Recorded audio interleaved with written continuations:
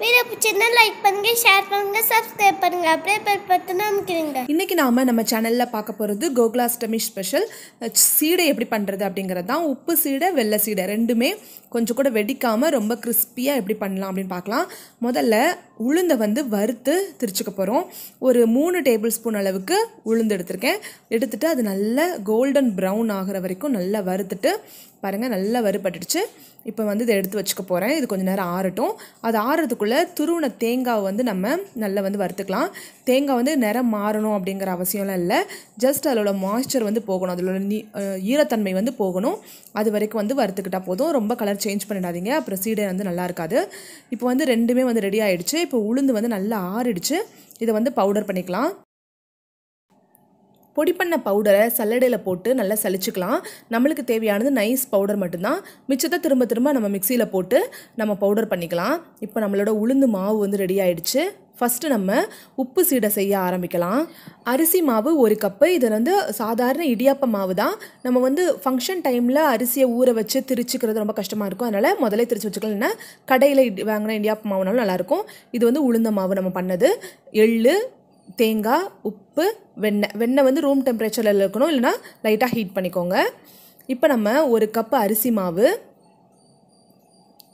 கூட வந்து உளுந்து மாவு. இது வந்து ஒரு டேபிள் ஸ்பூன் அளவுக்கு. இது ரெண்டையும் வந்து சளிச்சிக்கலாம் ஏன்னா அது வந்து ஈவனாக மிக்ஸ் ஆகணும் அப்படிங்கிறதுக்காக. வெள்ளை சீடைக்கு இதெல்லாம் தேவையில்லை. ஆனால் உப்பு சீடை வந்து வெடிக்காமல் நல்லா வரணும்னா இதெல்லாம் கரெக்டாக ஃபாலோ பண்ணணும். பார்த்தீங்கன்னா நல்லா நல்லா மிக்ஸ் ஆகிடுச்சு இதை ஒரு பவுலில் எடுத்துக்கலாம்.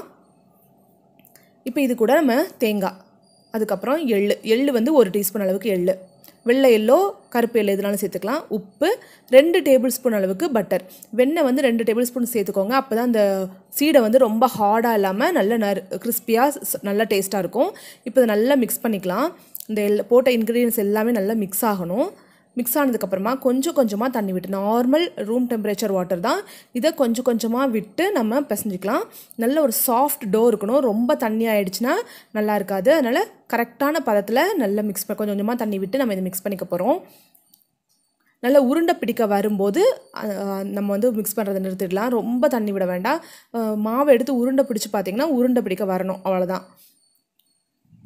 பாருங்கள் நம்ம மாவு ரெடி ஆகிடுச்சு பார்த்திங்கன்னா இந்த மாதிரி இருக்கும். ரொம்ப தண்ணியாக இருக்கக்கூடாது. மாவு வந்து நல்லா கரெக்டான பதத்தில் இருக்குது இப்போ நாம் பால் செய்ய ஆரம்பிக்கலாம். முதல்ல ஒரு பிளேட்டில் டிஷ்யூ பேப்பர் போட்டு வச்சுக்கோங்க. அதுக்கப்புறமா ஏற்கனவே ரெடி பண்ணி வச்சுருக்க மாவை லைட்டாக எடுத்து அப்படியே உருட்டி போட்டுடணும். அவ்வளோதான் இது வந்து ரொம்ப வந்து கையில் வச்சு ரொம்ப டைட்டாக உருட்டினீங்க அப்படின்னா சீடை வந்து ரொம்ப ஹார்டாயிடும் கடுக்கு கடுக்குன்னு கடிக்க முடியாத மாதிரி போயிடும். சீடை வந்து கிறிஸ்பியாக சாஃப்டாக இருக்கணும்னா அப்படி எடுத்துட்டு ஒரு உருண்டை உருட்டி போட்டுருங்க. ரெண்டு கையிலையும் வச்சு தேய்க்காதீங்க. ஹார்டாக டைட்டாக தேய்க்காதீங்க. இப்போ நம்மளோட பால்ஸ் வந்து ரெடி ஆகிடுச்சு இதில் சின்ன சின்னதாக ஓட்டை போட்டுக்க போகிறோம் ஒரு டூத் பிக் வச்சு.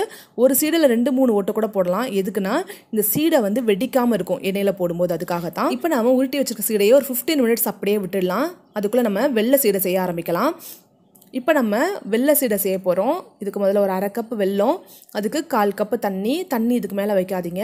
இதை நல்லா வந்து அடுப்பில் வச்சு நல்லா லைட்டாக லோ ஃப்ளேமில் வச்சு சூடு பண்ணோம் அப்படின்னா இந்த வெல்லம் நல்லா கரைஞ்சிடும். அதுக்கப்புறம் நம்ம இதை வடிகட்டிக்கலாம். வடிகட்டின அந்த வெள்ளம் தண்ணியை வந்து திரும்பவும் நம்ம வந்து சூடு பண்ண போகிறோம் கொஞ்சம் திக்காக வேணும். ரொம்ப பாகு பதத்துக்கு போகக்கூடாது லைட்டாக திக்காக இருக்கணும். ரொம்ப தண்ணியாக இல்லாமல் லைட்டாக திக்காக இருக்கட்டும். ஒரு four to five minutes low ஃப்ளேமில் வச்சுட்டு நம்ம அப்படியே ஆஃப் பண்ணிடலாம். பாருங்கள் லைட்டாக நம்மளது ஜாகரி சிரப் வந்து கொஞ்சம் திக்காகிடுச்சு இது வந்து கொஞ்சம் கை பொறுக்கிற சூடு வரட்டும். அதுக்குள்ளே மாவு மிக்ஸ் பண்ணிடலாம். ஒரு கப்பு அரிசி மாவு ரெண்டு டீஸ்பூன் வந்து உளுந்து மாவு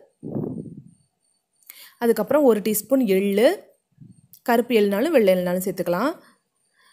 எ- வெண்ணெய் வந்து வெறும் ஒரு டீஸ்பூன் தான். ஏன்னா ஜாகரியே வந்து ரொம்ப மெல்ட் ஆகுங்கிறனால வெள்ளை வெள்ளம் வந்து ரொம்ப தேவையில்லை. அப்புறம் துருவண தேங்காய். எல்லாத்தையும் சேர்த்துட்டு நம்ம நல்ல இதை மிக்ஸ் பண்ணிக்க போகிறோம்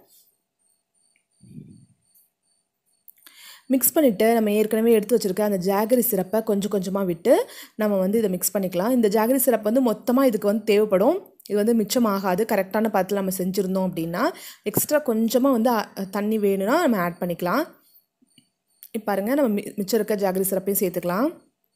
சேர்த்துட்டு நல்லா மிக்ஸ் பண்ணிக்கலாம். மிக்ஸ் பண்ணிவிட்டு கரெக்டான பதம் வந்துடுச்சு அப்படின்னா அதோடு நிறுத்திடுங்க.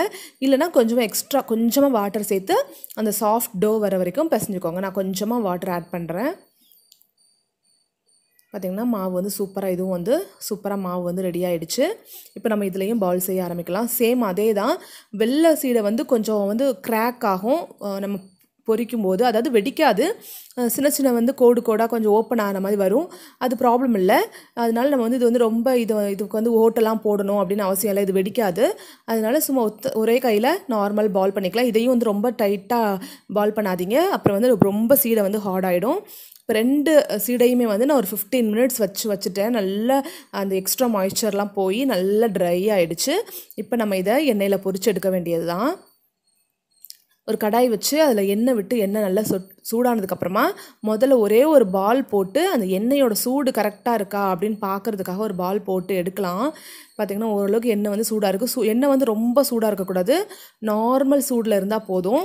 இப்போ நாம் முதல்ல உப்பு சீடையை வந்து போட்டு எடுத்துக்க போகிறோம் பார்த்திங்கன்னா சீடையை வந்து போட்டாச்சு. இது வந்து லோ ஃப்ளேமில் வந்து நல்லா கொஞ்சம் நேரம் மாறி வரணும். அது வரைக்கும் நம்ம இதை ஃப்ரை பண்ணிக்க போகிறோம் பார்த்திங்கன்னா ஒன்று கூட வெடிக்கலை.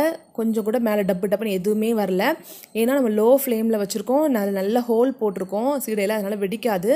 இப்போ வந்து பார்த்திங்கன்னா கொஞ்சம் கலர் இது ரொம்ப கலர் டார்க்காக ஆகாது. நீங்கள் உளுந்து வந்து ஜாஸ்தி சேர்த்துக்கிட்டீங்க உளுந்து மாவுனா ரொம்ப டார்க் ப்ரௌன் ஆகும். உங்களுக்கு அவ்வளோ டார்க் ப்ரௌனாக வேணாம். நார்மல் வந்து இந்த ஹாஃப் ஒயிட் அந்த கலரில் இருந்தால் போதுன்னா நான் சொன்ன அளவுக்கு உளுந்து சேர்த்துக்கிட்டேன் சேர்த்துக்கிட்டிங்கன்னா கரெக்டாக அந்த கலரில் இருக்கும். ரொம்ப டார்க்காக உங்கள் சீடை வருது அப்படின்னா அதுக்கு நீங்கள் உங்களோட உளுந்த மாவு அதிகமாக சேர்த்துக்க தான் காரணமாக இருக்கும். சீடை வந்து ரொம்ப ஓவர் குக் பண்ணாதீங்க. ஜஸ்ட் வந்து அந்த பாருங்கள் அந்த ஆயில் வந்து எவ்வளோ பஸ் பபிள்ஸ் வந்துச்சு அந்த பபிள்ஸ் நல்லா கம்மியாகும். அப்போ வந்து நம்ம சீடையை எடுத்துடலாம். ரொம்ப டார்க் ஆகுச்சுன்னா சீடை நல்லா இருக்காது. இப்போ வந்து கரெக்டாக இருக்குது அந்த எண்ணெய் வந்து கொதிக்கிற அந்த பபுள்ஸ்லாம் வந்து நல்லா குறைஞ்சிடுச்சு. இந்த டைமில் நம்ம வந்து சீடையை வந்து எடுத்துடலாம். சீடை வந்து உப்பு சீடைக்கு வந்து கரெக்டாக அந்த ஆயிலோட பபிள்ஸ் வந்து கம்மியாகி அப்படியே நல்ல த தெளிவாக வரும். அப்போ நம்ம எடுக்கணும். இப்போ நம்ம வந்து வெள்ளை சீடை சேர்த்துக்கலாம். வெள்ளை சீடைக்கு அப்படியே டோட்டலாக வந்து டிஃப்ரெண்ட்டாக இருக்கும். இதுக்கு வந்து பபிள்ஸ் கம்மியாகணும் அதெல்லாம் இல்லை. கலர் வந்து நல்லா சேஞ்ச் ஆகி பார்க்குறதுக்கு நல்ல சாக்லேட் பால் மாதிரி இருக்கும். நல்ல ப்ரௌனாக கோல்டன் ப்ரௌனாக வரும். அந்த டைமில் நம்ம வந்து எடுத்துடலாம். பாருங்கள் இது வந்து கொஞ்சம் கூட வெடிக்கலை. வெள்ளை சீடை வந்து பொதுவாகவே வெடிக்காது. நம்ம ஏன்னா வெள்ளம் போட்டிருக்கோம்ல நல்லா மெல்ட் ஆகி வேகும்.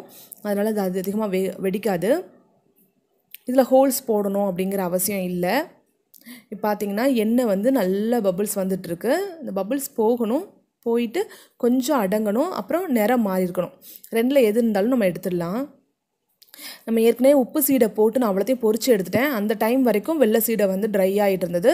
ஸோ அந்த கரெக்டாக அந்த அதில் எக்ஸ்ட்ரா மாய்ஸ்சரும் போய் போனதுனால இது நிறைய எண்ணெய் குடிக்கும் எண்ணெயாக இருக்கும் அப்படிங்கிறதுலாம் இல்லை. கரெக்டாக இருக்கும். நீங்கள் வெள்ளை சீடை மட்டும் பண்ணுறீங்கன்னா ஒரு ஃபிஃப்டீன் மினிட்ஸ் ரெஸ்ட் டைம் கொடுத்துட்டு அதுக்கப்புறம் பண்ணுங்கள் சுவையான வெள்ளை உப்பு சீடை தயார். வீடியோ பார்த்துருக்கு நன்றி.